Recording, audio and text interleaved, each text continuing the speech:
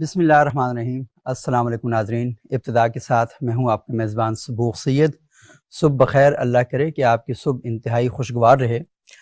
नाजरीन, पाकिस्तान के हालात कभी कहा जाता है कि बड़े बेहतर हो रहे हैं और कभी कहा जा रहा है कि जो नाखुशगवारी है उसमें आए रोज़ इजाफा होता जा रहा है। ये बात सारी अपनी जगह पर कि सियासी हालात क्या हैं और पाकिस्तान के माशी हालात क्या हैं। अल्लाह करे और हम अल्लाह से दुआ करते हैं कि ये सारे हालात ठीक हो जाएँ। लेकिन एक इशू जिसने बहुत ज़्यादा परेशान कर रखा है, वो माशरे में बढ़ती हुई तकसीम है। और उसके साथ साथ हम ये भी देख रहे हैं कि फ़िरका वाराना हवाले से, हमारा जो सियासी हवाला है उस हवाले से और उसके साथ साथ कई हवालों से माशरा इंतशार का, अफराद का और तफरीद का शिकार होता जा रहा है। और हम ये देख रहे हैं कि इस सारे इशू को जो हमारे सामने जहूर पजीर हो रहा है और कई घरों में तलाक़ें हो चुकी हैं, कई कत्ल के वाक़ जो हमारे सामने आ रहे हैं और ये सियासी अदम बर्दाश्त भी है और मजहबी अदम बर्दाश्त भी है और आए रोज़ हमारे अखबार और टी वी चैनल जो हैं वो इस तरह की खबरें हमें बता रहे होते हैं। हम ये सोच रहे हैं कि हम अपने मुल्क को और अपने माशरे को किस तरफ़ लेके जा रहे हैं और इस माशरे को क्या रुख देना चाहते हैं? ये बदकिस्मती अपनी जगह पर, लेकिन इससे बड़ी बदकिस्मती ये है कि हमें इस मौजू की तरफ़ कोई तवज्जो करवाने वाला नहीं है। हमें इस मौजू की हसासियत का कोई ख्याल नहीं है। और हम सोच ही नहीं रहे कि ये पाकिस्तान के अंदर एक इतना बड़ा जो तूफ़ान हमारे सामने आ रहा है, इसका मुकाबला हम कैसे कर सकते हैं और उसको कैसे हम बेहतर कर सकते हैं? तो ये मौजू इंतहाई अहमियत का हामिल है। और आज हमने इस मौजू पर गुफ्तु के लिए पाकिस्तान की बड़ी अहम और बड़ी नुमाइंदा शख्सियात हैं, उन्हें दावत दी है। वो इस मौजू से किसी न किसी तौर पर मुंसलिक हैं और उनसे हमने पूछने की कोशिश करते हैं, आज उनसे हम जानने की कोशिश करते हैं कि बताएँ कि ये मसला पैदा क्यों हुआ और फिर इस मसले का हल क्या है। हमारे साथ मौजूद हैं जनाब हज़रत मौलाना अब्दुलकुदस मोहम्मदी साहब ये तर्जमान हैं वफाक़ुलमदारसलरबिया पाकिस्तान के। पाकिस्तान में दीनी मदारस का जो सबसे बड़ा नेटवर्क है उसके तर्जमान है। मोहम्मदी साहब, बहुत शुक्रिया आपका। हमारी दूसरी इंतहाई मुआज़ मेहमान हैं, नौशीन यूसुफ साहिबा, सहाफ़ी हैं, ब्लागर हैं और बहुत ज़बरदस्त किस्म की रिपोर्टिंग करती हैं। और उनसे हम पूछेंगे सियासी जमातों को कवर करती हैं, ये आखिर हो क्या गया है? और हमारे जो स्टेज हैं, वहाँ से जो आवाज़ें आजकल आ रही हैं ये आवाज़ें माशरे के लिए कोई बेहतरी का सबब बन रही हैं या माशरे को मजीद कैसर बना रही हैं? और हमारे तीसरे इंतहाई मुआज़ मेहमान हैं जनाब प्रोफेसर डॉक्टर अब्दरूफ कठाना साहब माहिर हैं बैन अवी अमूर के और इंसानी हकूक़ के इस्लामी यूनिवर्सिटी इस्लामाबाद में ये तदरीस के शोबे से मुंसलिक हैं। बहुत शुक्रिया प्रोफेसर साहब, आप यहाँ तशरीफ़ लाए और आपसे हम पूछेंगे कि कानून तो इंसान को इस बात का पाबंद करता है कि उसकी जो बेलगाम ख्वाहिशात हैं और उसकी जो बेलगाम आज़ादियाँ हैं, उन्हें किसी तरतीब में लाता है, किसी हुसन के अंदर लेकर आता है। तो ये हमारी सोसाइटी जो है, इतनी बेतरतीब क्यों होती जा रही है? खुदूस मोहम्मदी साहब, मैं आपसे बात का आगाज़ करूँगा। एक दौर में हम बड़ी बातें सुनते थे। कि पाकिस्तान में जो मजहबी इंतहा पसंदी है, बहुत उरूज पर है फ़िरका वारियत ज़ोरों पर है, कत्ल कताल हो रहे हैं, तकफीर की फैक्ट्रियाँ लगी हुई हैं। लेकिन आजकल हम देख रहे हैं कि मामला वहाँ से बढ़ के तो बहुत आगे तक चला जा चुका है और पूरी सोसाइटी जो है, वो एक गर्म तवे पर या एक तंदूर के अंदर बैठी हुई है और हर बंदा ये सोच रहा है कि अब लकड़ी के तौर पर उसे इस्तेमाल किया जाएगा और वो इस खेल का हिस्सा बन जाएगा। जी, बिल्कुल। अभी जो सूरत हाल है, वो बहुत ही परेशान कन और बहुत तशवीशनाक है। मजहबी हवाले से जो मामला था वो मैं समझता हूँ कि इसके मुकाबले में ज़रा कम ख़तरनाक था। इसलिए कि वो चंद ग्रोहों की की तरफ़ से मतलब तादाद बहुत कम थी उनकी। कम थी और उनको उस तरीके से स्पेस नहीं मिल रहा था उस तरीके से हाईलाइट नहीं किया जा रहा था उस तरीके से कौमी मंजरनामे पर नहीं था और पूरी कौम बहसीत मजमू उसमें इन्वॉल्व नहीं हुई। तो अल्हम्दुलिल्लाह उसको कंट्रोल कर लिया गया और मैं समझता हूँ कि अब मजहबी हवाले से जो हम आहंगी का माहौल है या जो आपस में एक समाजी रिश्ते हैं या बाकी मामला हैं उसकी अगर आप 20 साल पहले की सूरत हाल देख लें आज देख लें तो ज़मीन आसमान का फ़र्क है। बड़ी इंटरेस्टिंग बात कर रहे हैं कि उस वक्त हम ये बात कर रहे थे कि इन तबकात को मेन स्ट्रीम किया जाए। जी।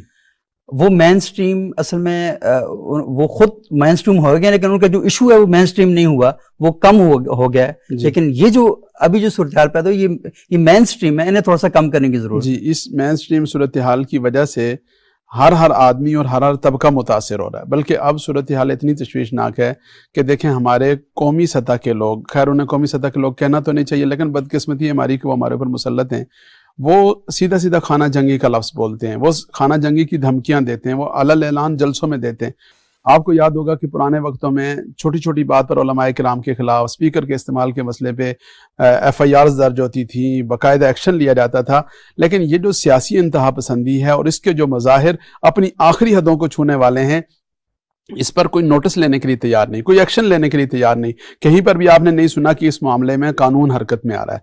और फिर ये एक एक तभी मामला है कि जब आपके कौमी सतह के लोग या आपका मीडिया, आपके टीवी चैनल्स, आपके बड़े बड़े मजमे और जलसे वहाँ पर जो लोग गुफ्तु कर रहे हैं, अगर उनकी ज़ुबान ऐसी होगी या उनका तर्ज अमल ऐसा होगा, उनके अंदाज के अंदर वो नफ़रत के जो आग और शोले हैं, वो उनकी ज़ुबानों से वो उगल रहे होंगे तो उसकी वजह से नीचे जो एक नौजवान तबका है ख़ास तौर पर ऐसे बच्चे और बच्चियाँ, कि जो अभी जहनी तौर पर कच्चे हैं, अभी उनकी जहनी सतह ऐसी नहीं है कि वो चीज़ों को दुरुस्त नाजुर में देख सकें। तो उनको अगर आप इस अंदाज से भड़काएँगे इस अंदाज से उनको आमादा करेंगे कि वो मरने मारने पर तुल जाएँगे तो कितनी अफसोसनाक सूरत हाल है।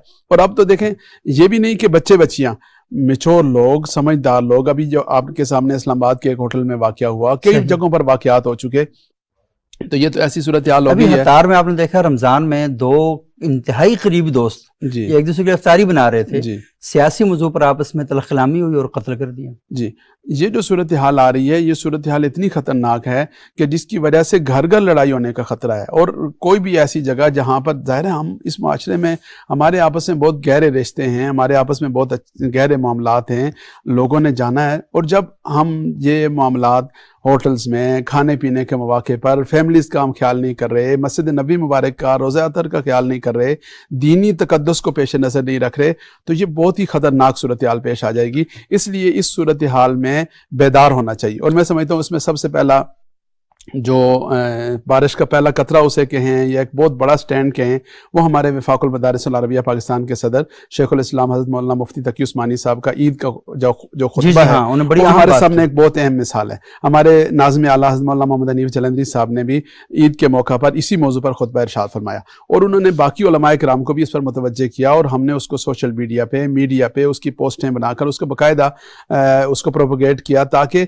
ज़्यादा से ज़्यादा लोगों तक ये वाली बात पहुँचे और के नाम इस बात को अपनी ज़िम्मेदारी के तौर पर लें और वो मसाजिद में इस पर शोर उजागर करें। मैंने भी अलहमदिल्ला अपनी मस्जिद में कई इस पर जुमे पढ़ा चुका और दीगर जितने के नाम हैं ख़ास तौर पर वो नौजवान कराम जो सोशल मीडिया से माशरे से मुख्तलिफ़ तबक़ात से वाबस्ता हैं वो इस बारे में बहुत ज़्यादा फ़िक्रमंद हैं और वो लोगों की जहन साजी करने की कोशिश तो कर रहे हैं। लेकिन ज़ाहिर है कि सिर्फ़ एक मेंबर से या एक कराम की तरफ़ से ये बात करने से बात बनेगी नहीं बल्कि इस पर तो पूरे माशरे को पूरे माशरे को मुतवजह होना पड़ेगा और ख़ास तौर पर रियासत को हुकूमती इदारों को मेन स्ट्रीम मीडिया को सबको इस पर आना पड़ेगा और एक इमरानी मुआदा करने की ज़रूरत है। यानी जो सियासतदान है उनको भी बिठाना चाहिए। देखिए हमारे सामने बेशुमार मौजूद पर आपने देखा होगा कि हमारे सियासतदानों को बिठाया जाता रहा उन पर ट्रेनिंग ऑल पार्टीज़ कॉन्फ्रेंस करवा रहे हैं आप क्या कहते हैं कि सियासी मसला है ऑल पार्टीज़ कॉन्फ्रेंस करवा रहे हैं। पाकिस्तान में दहशत गर्दी का मसला हुआ तो तमाम सियासी कुतों ने जो समाजी ताकतें थी वो सारी इकट्ठी हुई अपने तमाम इख्तलाफात को बुलाकर। तो मेरा ख्याल है कि ये बड़ा अहम इशू है। और बजाय इसके कि इसको रद्द अमल के तौर पर डील करने के इसको दर अमल के तौर पर ट्रीट करना चाहिए। और एक नया कोई ऐसा काम करना चाहिए। और आप बड़ी आम बात कर रहे हैं रोशन मैं आपसे थोड़ा सा जानूँगा कि विफाकुल मदारस की उन्होंने बात की और पाकिस्तान के जो दीनी तबकात है मैंने देखा मुफ्ती मुबरमान साहब ने भी और बाकी जो मिसालमाम हैं इनके लामा साज नकवी साहब का भी एक स्टेटमेंट आया हुआ था। तो पाकिस्तान के जो मजहबी तबकात हैं तो उन्होंने आप ये समझ लें कि किसी न किसी तौर पर अपने जो ऑडियंस है, उन तक एक पैगाम पहुँचा दिया है कि इन हालात में आपने इस सियासी इंतशार का या सियासत के नतीजे में जो है कि ऐसा माहौल क्रिएट किया जा रहा है, उसका शिकार नहीं होना। आप सियासत में ज़रूर पार्टिसिपेट करें और आपका फ़र्ज़ बनता है कि अपने मुल्क की मामला के बारे में आपको अपनी एक्टिविटीज़ में भरपूर तरीके से हिस्सा लेना चाहिए। लेकिन हम ये देखते हैं कि हमारी जो टेलीविज़न की स्क्रीन है, हमारे जो अखबार का सफ़ा है, वो बजाय इसके कि ज़िम्मेदारी का मुजाहरा करे कि हमारा माशा आलरेडी बहुत ज़्यादा तकसीम का शिकार है। लेकिन हम वहाँ पर देखते हैं कि उस तकसीम की आग को मजीद भड़काने की कोशिशें हो रही हैं। तो क्या मीडिया की रिस्पॉन्सिबिलिटी क्या होनी चाहिए? बिल्कुल ऐसा दुरुस्त है, गुजशत हम अगर देखें तो कोई गुजशत दस बारह साल से जो सियासी तकसीम है, वो शुरू हुई, उसके ऊपर इश्तियार अंगेजाना बयान हमने देखा, वो आहिस्ता आहिस्ता बढ़ते चले गए। जैसे अभी मौलाना साहब ने ज़िक्र किया कि किस तरह से मजहबी जमातों ने उनके उलमा ने आपस में बैठ कर जो मुल्क में फ़िरका वाराना तसादम थी, इन इन बातों को कंट्रोल करने की कोशिश की। नेशनल एक्शन प्लान आया तो उसका भी फोकस उस उन सारे मामला पर हमने देखा हमारी सियासी जमातें भी इकट्ठे होती थी और नेशनल एक्शन प्लान बना मुख्तलिफ़ इस तरह की सिक्योरिटी के हवाले से डायलॉग्स हुए आ, हमारी जो पॉलिटिकल लीडरशिप थी वही उन्हीं पे इनिशिएटिव्स लेती थी उन पे वो इकट्ठे बैठ जाते थे।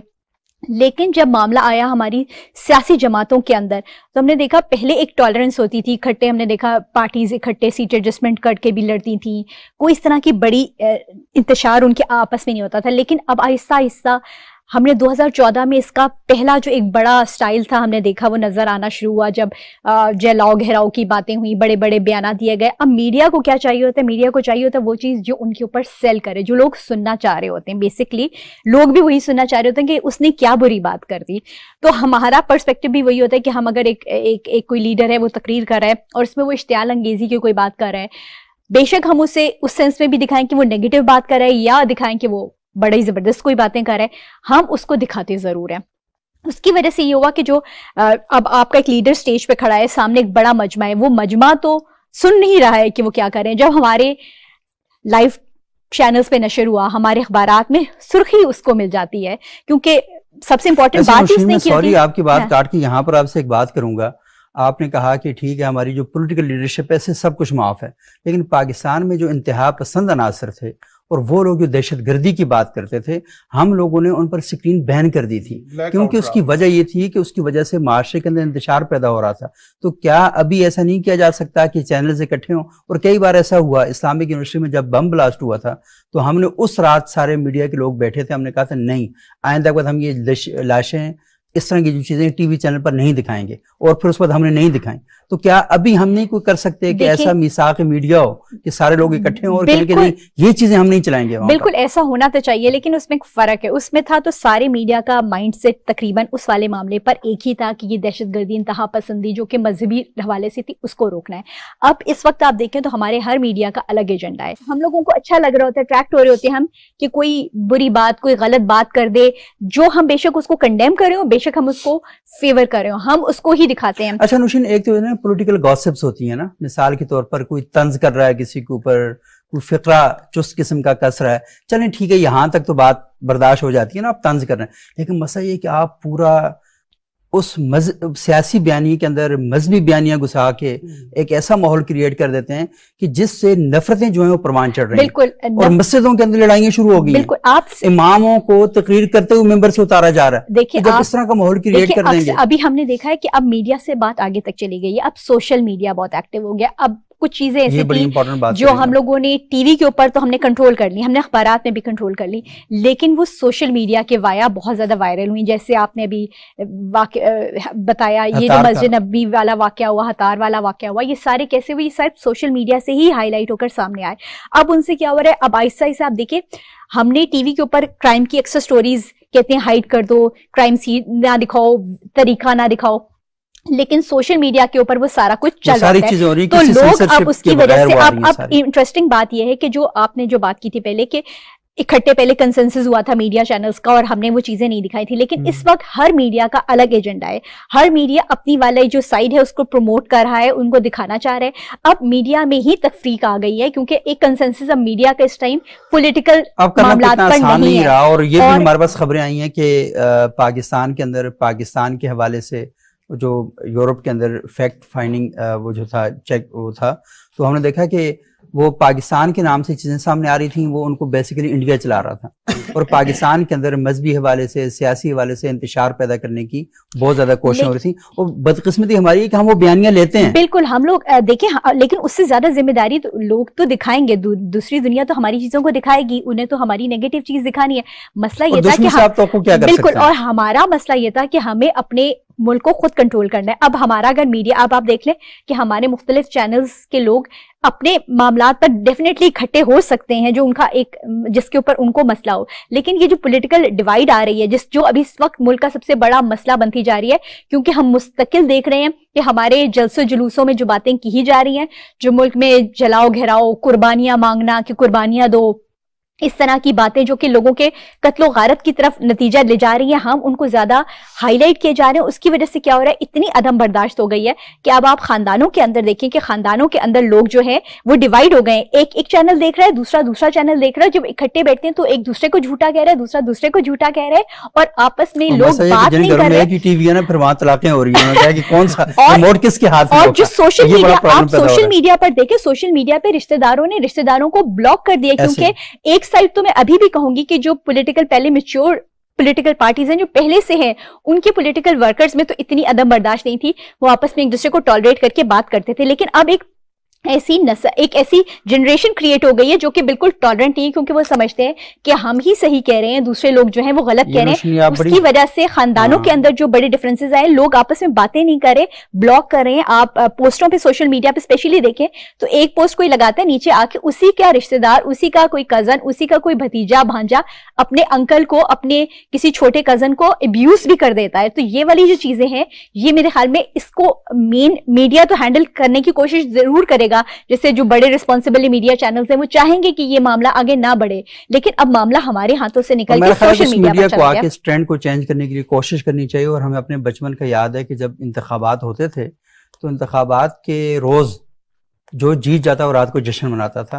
लेकिन अगले दिन वो जो जीत जाता ना वो जो जिससे जीतता था ना उसके घर उसके घर जाते घर जाते थे। सबसे पहले उनके घर जाते थे और ये मैसेज देते थे कि देखिए हमारे जो सियासी इख्तलाफात थे वो कल शाम तक थे। और जो थे वो रोज खत्म हो गए। अब मैं एम एन ए बन चुका हूँ अब हाँ। एम पी ए बन चुका हूँ अब इस पूरे इलाके का वो हूँ। और मैंने खुद अपनी आँखों से देखा क्योंकि मैं ऐसे कुछ लोगों के साथ गया था। तो हमारे यहाँ एक शख्सियत इलेक्शन जीती तो अगले दिन अपने मुखालिफ के पास गई। और पता ना मुझे याद है मैं तीसरी क्लास की बात बता रहा हूँ मुझे याद है जुमले कहे उन्होंने। वो वजी अला भी रहे खैबर पख्तूनख्वा के।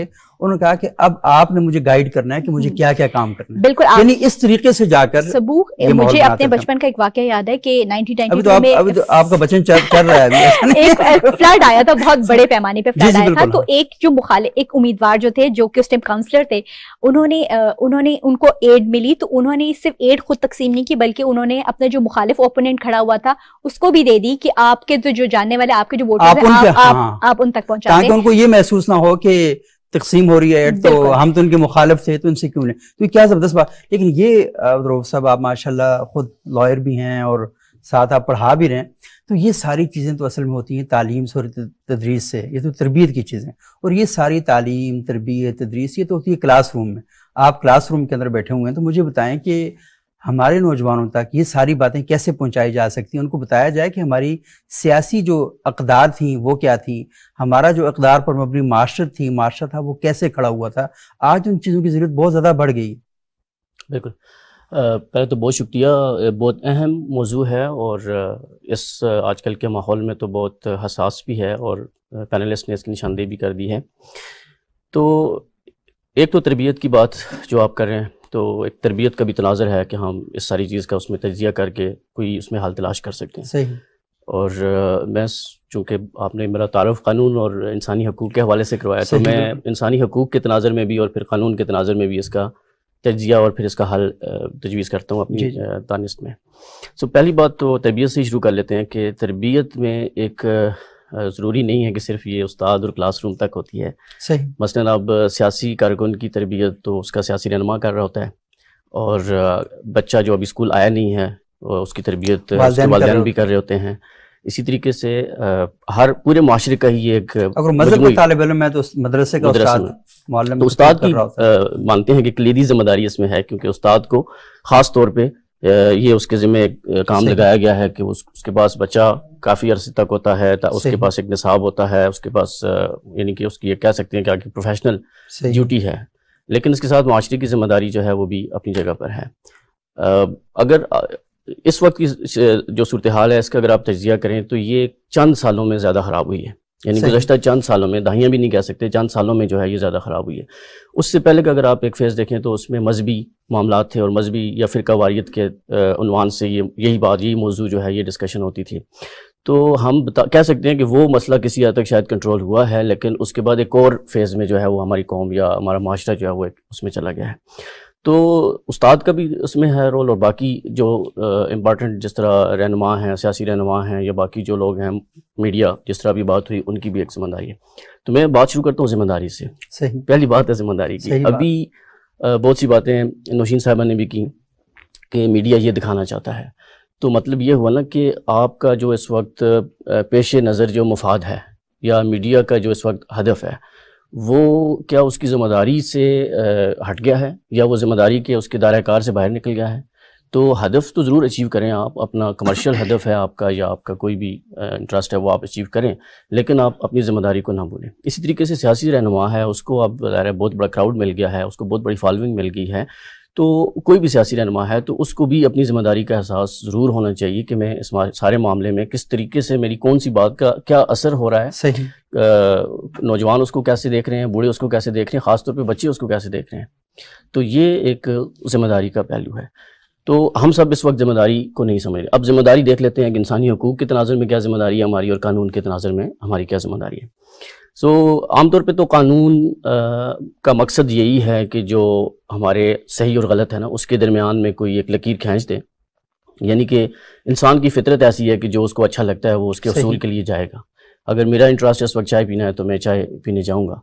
लेकिन चूँकि इंसान दुनिया में अकेला नहीं है तो बहुत से इंसान हैं। तो जब बहुत सारे इंसान हैं तो फिर उनका जो कॉन्फ्लिक्ट ऑफ़ इंटरेस्ट है ये लाजमी बात है इनविटेबल बात है। एन मुमकिन है चाहे आप भी पीना चाह रहे हैं मैं भी पीना चाह रहा हूँ। हमारा एक ही चीज़ में जब उसके हसूल के लिए हम जाएँगे तो फिर अगर हम कोई जबता नहीं बनाएँगे तो फिर इसमें क्लैश हम्म, होगा। सही। तो कानून ने ये इंसानों के माशरों में ये कानून ने ये रोल प्ले किया है कि सही और गलत की तमीज़ करने के बाद सही का रास्ता भी मुतन कर दिया और गलत का रास्ता बंद कर दिया है। गलत का रास्ता बंद करने के लिए ज़ाहिर है वो फिर सज़ाओं का एक निज़ाम जो है वो कानून मुतारफ़ कराता है। तो इंसानी माशरों में कानून की कदर इस तरह कह सकते हैं आपकी इजाद मज़हब भी यही बात करता हाँ। है। फ़लहमा फजूरा तकवा। बिल्कुल। वही है कि वो नेकी का सिग्नल भी है उसका भी है। लेकिन आप अगर बुराई का सिग्नल अडॉप्ट करेंगे हम्म। तो उसके नतज भी आपको दुनिया में और आखिरत में चखने पड़ेंगे। बिल्कुल। मज़हब और कानून में फ़र्क ये होगा कि मज़हब आप पर्सनल कन्विक्शन से आप कर रहे होते हैं कि आपकी ज़ाती अकीदगी वाबस्तगी और आपका एक इंटरनल उसके साथ एक इंटरनल फेथ रिलेशन आपका बन जाता है। और कानून जो है वो इन चीज़ों में जाए बगैर वो सबके लिए होता है। तो अब आखिरी बात यह है कि कानून जो है वो कानून जो है वो अखलाक के अंदर पैदा होता है। यानी कि कुछ चीज़ों को पहले अखलाकी तौर पे तयन किया जाता है कि ये अखलाकी कदरें हैं। और उन अखलाकी कदरों को कुछ तो ऐसी होती हैं कि इंसान ज़िम्मेदारी के साथ अडाप्ट कर लेता है। और जब इंसान ज़िम्मेदारी के साथ अडाप्ट ना कर रहा हो तो फिर कानून मजबूरन कह सकते हैं कि आप आते हैं। यानी कि हम कानून को सबसे पहले रखेंगे तो हम मेरे ख्याल में सारे मामले का हल नहीं निकाल सकेंगे। कानून तीसरे दर्जे में आएगा। क्योंकि अगर आप कानून में एक चीज़ आपने मना कर दी तो हमारी अगर इस वक्त की पाकिस्तान की आबादी अगर 20 करोड़ है तो 20 करोड़ को कानून, दुनिया का कोई भी कानून इतनी ना वो उसके पास लॉ इन्फोर्समेंट एजेंसी हो सकती है ना उसके पास इतने रिसोर्सेज हो सकते हैं कि वो सब के सबको हर वक्त हर एक हर बंदे के लिए एक पुलिस तो खड़ी नहीं हो सकती ना। वैसे भी कहते हैं दो परसेंट तबका होता है जिसके लिए कानून बनाया जाता है ताकि वो नाइन्टी एट परसेंट के साथ मेन स्ट्रीम हो जाए। बिल्कुल। तो अब असल चीज़ है कि हम वो अपनी जिम्मेदारियों का तयन करें। जिम्मेदारियाँ भी वाजे हैं। जिम्मेदारियाँ तयन ऐसा नहीं है कि वो हमारे सामने वाजे नहीं है। जिम्मेदारियाँ बिल्कुल वाजे हैं। अब जिम्मेदारियाँ जो पूरी नहीं करे उनके हवाले से उनके ऊपर जिस तरीके से उनको अब जो जिस तरह का है उसको उस तरह के प्रेशर उसके ऊपर होना चाहिए। मसलन, एक सियासी रहनुमा है तो उसको सियासी रहनुमा को ये फ़िक्र होनी चाहिए कि मेरी फॉलोइंग इससे कम हो जाएगी। और इसी तरीके से अगर मजहबी है या कोई और किसी तरह के हवाले से उसकी जो भी उसकी फॉलोइंग है, जो भी उसका क्लाउड है, जो भी उसका क्राउड है तो वो उस, वो वो एक सोशल प्रेशर है। ये नहीं कि ज़िम्मेदारी या अखलाकी पहलू ये है कि ये खुद उससे ही खाइफ होकर अपने आप को ठीक कर लें। अगर ना हो तो फिर आखिरी दर्जा जो है वो कानून का है। वो कानून का। और रोहब साहब, आप बहुत इंटरेस्टिंग बात कर रहे हैं कि जो मजहबी या सियासी रहनुमा है उसे खुद चाहिए कि अपनी जिम्मेदारियों को फॉलो करे और उसके ऊपर प्रेशर मौजूद रहना चाहिए कि अगर मैंने अपनी अखलाकी कदरें जो हैं हम्म। उन्हें खो दिया तो इसमें एक जुमले का मैं सारा एक्टिव एक जुमले का मैं इजाफा कर दूँ कि इंसानी हकूक का तनाजर इसमें क्या वो ज़िम्मेदारी की तरफ़ ज़्यादा जाता है क्योंकि इंसानी हकूक का जो मुकदमा है वो ये है कि इंसान को अल्लाह ने अकल और शौर दी है। सही। और इस अकल और शौर ये इंसान के अंदर खुद कानून मौजूद है। तो इस अकल और शोर की बुनियाद पे इंसान से एक्सपेक्ट आप करें कि वो अप्रोप्रिएटली बिहेव करेगा फेयरली बिहेव करेगा। और कानून उधर आएगा जब ये उस अपने कोड ऑफ़ इंसानियत के कोड से बाहर निकलेगा। बाहर निकल जाएगा। तो इंसानी हकूक का तनाजर भी उसमें भी है कि वो कानून को कम से कम यानी कानून को कम से कम इन्वॉल्व करते हैं कि इंसान खुद से ये चीज़ जो है इसका खुद से एहसास भी रखे और इसको हर वक्त अपने ऊपर एक स्कोर और ये बात जो है ये बड़ी अहम है कि जो आपने कहा ना कि प्रेशर बिल्ड जो है वो करना है लेकिन प्रेशर बिल्ड करती है सोसाइटी हम्म। और सोसाइटी को इल्मी तौर पर शहरी तौर पर और फिक्री तौर पर इतना मज़बूत और मरबूत होना चाहिए कि ताकि अगर किसी बंदे की कोई इस तरह की ख्वाहिशात हैं भी तो वो इस खौफ की वजह से कम से कम ना करे कि सोसाइटी इतनी बाशोर है मेरी बातों को एक्सेप्ट नहीं करेगी। तो ये बड़ी अहम गुफ्तु है और आप तीनों लोगों को बुलाने का बुनियादी मकसद भी यही है कि आप तीन उन तबकात की नुमाइंदगी करते हैं जिन्होंने सोसाइटी के अंदर ये शूर पैदा करना होता है और उसको फ़रोग देना होता है। तो ये बड़ी अहम बात है। नाजरीन, यहाँ पर एक वक्फा लेते हैं और वक्फे के बाद दोबारा जब आएँगे तो इस सिलसिला कलाम को आगे बढ़ाते हैं।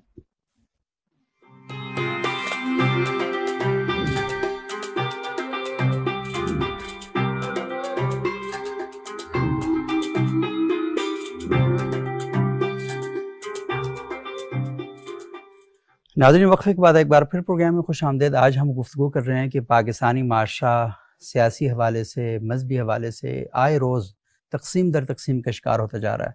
और इंतहाई अफसोस की बात यह है कि वो लोग जिन्होंने हमारे इन तबक़ात को आपस में जोड़ना था, इस मेल मिलाप में इजाफ़ा करना था, सोसाइटी को बेहतर बनाना था, वो सारे लोग अपनी ज़िम्मेदारियों से हमें गाफिल दिखाई देते हैं।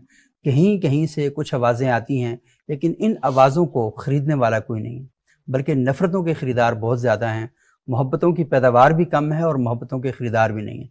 तो आज हम इस मौजू पर गुफ्तु कर रहे हैं, मौलाना अब्दुलकदूस महमदी साहब, नौशीन यूसुफ साहिबा और डॉक्टर अब्दुल साहब हमारे साथ मौजूद हैं। महमदी साहब, मैं थोड़ा सा आपसे ये जानना चाहूँगा कि ये बात हम करते हैं कि ये बुरी बात है, ये नहीं होनी चाहिए, हमें सोशल प्रेशर बनाना चाहिए, तरबियत करनी चाहिए, तदरीस करनी चाहिए। लेकिन हम ये देख रहे हैं कि सोसाइटी बहरहाल बराबर वो कहीं ना कहीं सारे अमल का शिकार होती जा रही है। वो जो लोग इक्का दुक्का जो कहीं हमें अखलाक का अलम उठाए हुए दिखाई देते थे, हम देख रहे हैं कि वो भी अब सोशल मीडिया की वजह से या किसी इस तरह की आवाज़ों की वजह से वो कह रहे हैं कि नहीं, अगर आपने रिएक्ट नहीं किया तो फिर वो आपको खा जाएँगे। तो उस खा जाने के खौफ की वजह से उन्होंने वही पोजीशन पकड़ ली है। तो कुरान और सुनने की तालीमत क्या कहती हैं? मेंबर महराब से कौन सी आवाज़ बुलंद होनी चाहिए? क्योंकि जुम्मे के रोज़ बहरहाल लोग तो आते हैं मस्जिद में। और वो जो लोग आते हैं, वो तो जुड़े होते हैं अल्लाह के साथ भी, अल्लाह के रसूल के साथ भी। और रऊफ साहब ने जो बात की कि मज़हब तो आपको इंटरली ये बात बताता है ना कि अंदरूनी तौर पर कि नहीं, आपने सारी चीज़ें नहीं करनी। तो क्या मैसेज देना चाहिए? क्या पैगाम देना चाहिए मेंबर महराब के ज़रिए? और क्या कुछ ऐसा हो सकता है कि आपने कहा कि मुफ्ती तकी उस्मानी साहब ने एक खुतबा दिया और उसमें इस बड़े नाजुक मसले की जाना मुतवजह किया? तो कोई जिस तरह इतिहाद तनजीमत मदारस बना हुआ है। तो इस हवाले से बनाया बनाया जाए। जैसे मिसाक जमहूरियत किया था ना पाकिस्तान में। सियासतदानों ने कहा नहीं जी इस वक्त आमरीत के गहरे साय पाकिस्तान के ऊपर मुसलत हैं तो उससे कैसे निकला जाए? तो इस सोसाइटी को इससे कैसे निकाला जाए? इसके लिए कोई लायामल क्या हो सकता? है जी इसके लिए मेरे ख्याल में सबसे ज़रूरी चीज़ है एक मिसाक कौमी सतह का। हम उसे मज़हब में पाबंद ना करें। जैसे आपने कहा था मज़हब की जो नुमाइंदा शख्सियात हैं मदारस के जो लोग हैं के नाम ज़रा मुफ्ती तकी उस्मानी साहब से ज़्यादा बड़ी शख्सियत पाकिस्तान में कोई नहीं है। मौलाना हनीफ जलंधरी से ज़्यादा मौसर मुफ्ती मनी वरमान साहब से ज़्यादा मौसर यहाँ पर कोई नहीं है। माशाल्लाह उन्होंने अपने तौर पर ये वाली बात कही कह रहे हैं मुसलसल। और सिर्फ़ वो नहीं, बल्कि आम मसाजिद के मंबर महराब से भी यही बात मुसलसल कही जा रही है। तो लेकिन अब सूरत हाल ऐसी हो गई है कि जैसे आग लगी हो ना या कोई तूफ़ान, सैलाब आ जाए तो वो किसी एक आदमी की कोशिश से वो नहीं रुक हाँ, सकता। इस वक्त सूरत हाल ये है कि सिर्फ़ मम्बर महराब ये नहीं कर पाएँगे। इसके लिए पूरे माशरे को और तमाम तबकात को सामने आना पड़ेगा। अगर हम ये नहीं देंगे तो देखें शाम में जो कुछ हुआ इराक में जो कुछ हुआ अफ़गानिस्तान हमारे अफ़गानिस्तान में और अफ़गानिस्तान के लोग हमारे मुल्क के अंदर बैठे हैं और कैसी ज़िंदगी गुजार रहे हैं। हम रोज़ाना देखते हैं अपनी आँखों से। दुनिया के मुख्तलिफ़ खितों में जो हुआ इंडिया में फसादात आए रोज का मामूल है। तो अगर खुदा न खास्ता इसको आज ना ब्रेक लगाई गई तो ये बड़ी संगीन सूरत हाल बन जाएगी। तो असल करने वाला काम यह है कि जो हमारे सियासतदान हैं और जो हमारे मुख्तलिफ़ तबक़ात हैं, खासतौर पर मैं फिर भी ज़ाहिर अपनी ज़िम्मेदारी लेनी चाहिए। तो मैं ये समझता हूँ कि इसमें कराम को आगे आना चाहिए। उनकी बात आज भी अलहमदिल्ला उसका असर है। और एक मजमू इज्तमाही तौर पर एक बयानिया जैसे पैगाम पाकिस्तान की शक्ल में एक बयानिया आया तो इस तरह का एक बयानिया आना चाहिए मौजूदा सियासी सूरत हाल के। तो जब कराम की तरफ़ से एक आवाज़ आएगी तो उस आवाज़ को सियासतदान भी और जो हमारी रियासत है या हुकूमत है वो इसको इन संजीदगी के साथ लेंगे। अच्छा आप ये समझते हैं कि पाकिस्तान के अंदर वो कराम जो किसी हवाले से सियासी हवाले से या मजहबी हवाले से मुतनाज़ा नहीं है। और उनकी बहुत बड़ी तादाद है। जी। और वो मदारस के अंदर मौजूद हैं और लाजमी सब के साथ बहुत अच्छा ताल्लुक भी है उनका। तो अगर ये कराम इकट्ठे हों और ये इकट्ठे होकर एक इस्लामाबाद में या कराची में जहाँ भी एक एलामिया पूरी कौम के नाम और सियासतदानों के नाम वो ये करें तो उसके बड़े असरात उसके असरात होंगे और ये ये ज़रूर होना चाहिए। लेकिन देखें अल्हम्दुलिल्लाह हज़रत मुफ्ती तकी उस्मानी साहब का ईद के इज्तम में खिताब, मौलाना अनीफ जलंदी का, दीगर जिन जिन कराम का आपने नाम लिया, उनकी तरफ़ से एक बात आने का मतलब ये है कि उस जगह से तो आवाज़ें उठ रही हैं। उस जगह पर तो एक फिक्रमंदी पाई जा रही है। अगरचे अभी तक कोई ऐसी कोई गैदरिंग या कोई ऐसी एक्टिविटी बहरहाल वो भी ज़रूरी है कि जिसकी वजह से कौम के सामने पैगाम जाए और के राम इस मौके पर तारीख के इस आम तरीन मोड़ पर कम अज़ कम अपनी ज़िम्मेदारी से बरी ज़िम्मा हो जाएँ कि हमने ये अब जो टाइम था हमें ये किया क्योंकि कराम को करना चाहिए। और मैं ये वाली बात इससे कर रहा हूँ कि ज़ाहिर मेरी जो ज़िम्मेदारी है तो मुझे पहले अपनी बात करनी चाहिए। लेकिन उससे ज़्यादा ज़रूरी बात है कि हमारी रियासत और हमारा जो सिस्टम है वो इस मामले को संजीदगी के साथ ले। इससे कि जब तक सिस्टम इसको संजीदगी के साथ नहीं लेगा तो बात नहीं बनेगी। जैसे नौशीन साहिबा ने कहा, अब आप देखें कि मीडिया है तो उसमें से हर एक का रुख अपना अपना है। एक चैनल वाला किसी और तरफ़ जा रहा है, दूसरा किसी और तरफ़ जा रहा है अपने अपने मफादात हैं। बल्कि बाज़ अवत तो ऐसा लगता है कि बाज़ लोग बैरूनी हिदायत के ऊपर यहाँ चीज़ें कर रहे हैं।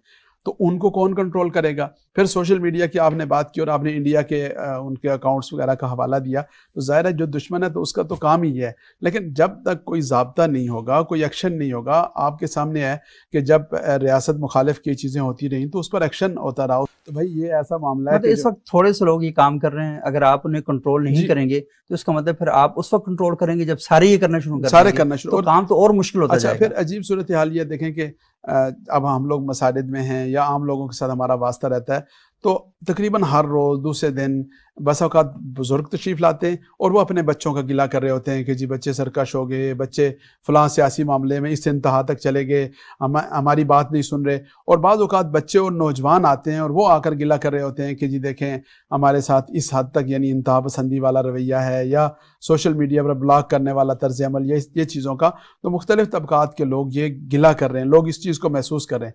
लेकिन अब सूरत हाल क्या है कि आपने कई वाक़ात में देखा होगा कि पहले एक यकतरफा ट्रैफ़िक चलती थी यानी एक ही तबका हम्म। या एक ही किस्म की मखलूक ये ये रवैया अख्तियार करती थी अब लोगों ने ये समझना शुरू कर दिया कि नहीं यार अब यहाँ बचना है तो आपको जवाब देना पड़ेगा आपको रिएक्शन का मुजाहरा करना पड़ेगा क्योंकि कानून आपकी मदद के लिए नहीं आएगा रियासत आपके लिए कुछ नहीं करेगी कोई और आपके लिए तो कुछ नहीं करेगा आपने जीना है आपने अपनी इज़्ज़त बचानी है तो आप उसका कोई बंदोबस्त करके रखें और अब तो बाकायदा मेरे ख्याल में ये होना शुरू हो गया कि लोगों ने अपने साथ जत्थे लेकर चलना शुरू कर यानी ऐसे मरूफ लोग कि जिनको इस बात का खदशा है कि हम होटल में जाएँगे किसी शॉपिंग में या किसी इज्तमाही जगह पर जाएँगे और वहाँ हमारे साथ किसी किस्म की बद तहजीबी का मुजाहरा हो सकता है। उन्होंने अपने साथ जत्थे रखना शुरू कर दिए। और अगर ये ये तर्ज अमल होना शुरू हो गया और ये मार दाड़ वाला कल्चर ये रवाज पा गया तो बहुत खतरनाक सूरत हाल हो जाएगी। फिर तो वो बात हुई है ना कि फिर वो हवा तो किसी की नहीं होती ना तो दिए सबके चिराग सबके बुझेंगे हवा किसी के नहीं तो फिर ये सूरत हाल हो जाएगी। अच्छा नौशीन में थोड़ा सा आपसे एक बात जानना चाहूँगा। ये तकी उस्मानी साहब ने लामा साजिद नकवी साहब ने मुफ्ती मुनरमान साहब ने क्या ज़बरदस्त बयान दिए। ईद के मौके पर इससे अच्छे बयान हो ही नहीं सकते थे। लेकिन क्या वजह है कि हमारे चैनल इन बयान की हेडलाइन नहीं बना सके, इन बयान पर टॉक शो नहीं कर सके? उन्हें बताया नहीं है कि पाकिस्तान का एक इतने बड़े स्ट्रेचर का आदमी, वो खड़ा होता है, इतने अहम मौजू पर बात करता है। आखिर क्या बात है कि हम किसी पॉलिटिशियन के ऐसे बयान पर कई कई शो करते हैं टॉक शो करते हैं और हम बताते हैं जी कि अच्छा उसने वो बात शायद उस तरह कहीं भी नहीं होती जिस तरह हम कंसीव करके बता रहे होते हैं।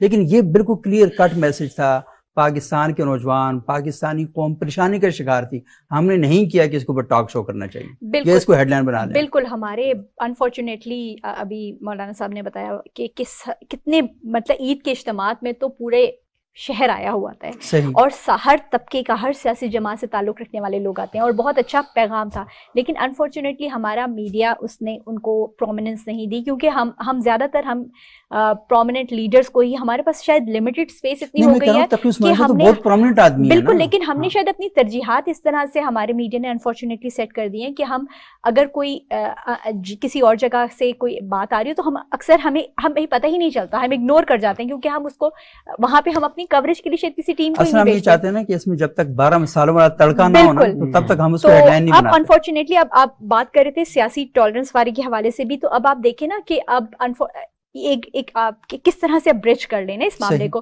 तो अब आप देखें कि एक तरफ़ तो एक एक पार्टी वो है जो कि कहती है हम इनसे बात नहीं करेंगे। वो एक बड़ा खतरनाक फैक्टर है कि एक एक जमात है जो कि गुजश्ता या वो माइंड एक एक इस तरह का माइंड सेट है जो गुजश्ता काफ़ी अरसे से ये कह रहे हैं कि हम इन बाकियों से बात नहीं करेंगे कि ये चोर है करप्ट है वट जो भी। वैसे अच्छा, मैं आपको एक बात बताऊँ हाँ। वैसे। ये जो बात ना करने वाला सिलसिला है ना मेरा ख्याल है कि ये बुराई की सबसे बड़ी जड़ है। अल्लाह के रसूल मक्के के अंदर बात करना चाह रहे थे। जिस रसूल ने रियासत मदीना बनाई थी ना वो बात करना चाह रहे थे और मुश्किन मक्का ने कहा नहीं हम ना आपकी बात सुनेंगे ना आपसे बात करेंगे। आपको हम शब मुतालब में कैद करेंगे। बिल्कुल। आपसे बात नहीं करनी है। बिल्कुल। अब तो ये जो शब मुतालब बनाने का चक्कर है ना हमारी सोसाइटी के अंदर इसे खत्म होना अच्छा, चाहिए। अच्छा अब ये सिर्फ़ ना सिर्फ़ लीडरशिप बल्कि अब वो नीचे आते आते हमारी जो पॉपुलेशन है उन उन पॉलिटिकल पार्टीज़ की उनके अंदर भी फैल गया। अब पहले तो आपने कहा एपीसीज होती थी सारी पॉलिटिकल पार्टीज़ इकट्ठे बैठती थी। तो अब मेरे ख्याल में अगर इसको वे फॉरवर्ड किया जाए तो कुछ ही अब ऐसी जमातें जो दोनों अतराफ की जो जमातें उनके साथ अच्छे ताल्लुक रखती हैं। ये जो ये जो इंतशार है ये जो इंतहा पसंदी ये इस वक्त पॉलिटिकल माइंडसेट की हो रही है। तो इसमें पॉलिटिकल लोगों को ही लीडरशिप क्वालिटीज लेनी होगी। हम देखते हैं हमारे मुल्क में कुछ इस तरह की शख्सियात हैं जैसे कि चौधरी परवे चौधरी शुजात हुसैन जो हैं उनके साथ मेरे हाल में हर ही पॉलिटिकल पार्टी जो है वो उनके साथ कंफर्टेबल होती है बात करने में। लेकिन क्या वो इनिशिएटिव इतना बड़ा ले सकते हैं? क्योंकि इस टाइम दूसरी तरफ़ से जो रेजिस्टेंस आ चुकी है वो बहुत ज़्यादा स्ट्रॉन्ग लेवल की आ सकी है आ चुकी है। लेकिन और भी बहुत सारे लोग हो सकते हैं जो कहें कि आ, हम इनिशिएटिव ले रहे हैं आप हमारे घर आए। मैं लेकिन सोच रहा था कि क्या ये सारी शख्सियात जिन पर कुछ शख्सियात का इतफाक हो सकता है तो वो सारे इकट्ठे हो जाएँ और इकट्ठे होकर फैसला करें कि हाँ अब हम इन सब लोगों को इकट्ठा करते हैं। क्योंकि ये समाज का मसला है ना मार्शल का मसला लेकिन लेकिन मुझे अभी फ़िलहाल तो मुझे अभी क्या मुझे तो आगे भी काफ़ी दिनों तक कोई इस तरह का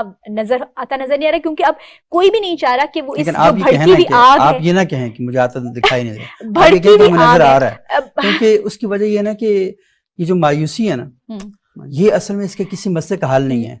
ये ब्लॉक करना ख्याल को रोक देना मेरा ख्याल ये है कि अगर ये लोग चाहें और हमारी बात उन तक पहुँचे तो ये जो पाकिस्तान की सरकर्दा मजहबी शख्सियात हैं और इस तरह की जो सियासी शख्सियात और उसमें कारोबारी शख्सियात भी बड़ी अहम रोल प्ले कारोबारी शख्सियात बहुत अहम किरदार अदा कर सकती हैं क्योंकि हमारे मुल्क में इस वक्त कुछ ऐसी कारोबारी बड़े टाइकून्स हैं जिनकी हर पॉलिटिकल पार्टी के अंदर बहुत ज़्यादा है। उनका रसूख है और उसका बंदोबस्त भी कर सकते हैं भी हमें नज़र आता है कि एक जगह से तबकात में से लोगों को लिया जाए। मिसाल के तौर जैसे अभी आपने मिसाल दी कि सियासतदानों में से ढूंढें तो कोई दो चार दाने इंशाल्लाह निकल आएँगे। इंशाल्लाह कारोबारी लोगों में से ढूंढें तो बहुत सारे नाम इंशाल्लाह ऐसे आ जाएँगे। और फिर मजहबी लोगों को ज़ाहिर है कि वो बड़ी तादाद। मशाह की बड़ी तादाद और उनका एहतराम है बहरहाल उनका हमारे माशरे में लेकिन मेरे ख्याल में इस वाले मामले पर क्योंकि ये पोलिटिकल मामला है इस पर ज़्यादा फोकस ये होना चाहिए कि पोलिटिकल पार्टीज़ इकट्ठे बैठे। जैसे मिसाक जमहूरियत जब हुआ था तो बेनजीर भुट्टो नवाज़ शरीफ ने रियलाइज़ कर लिया था कि क्या मसले पैदा हो चुके हैं।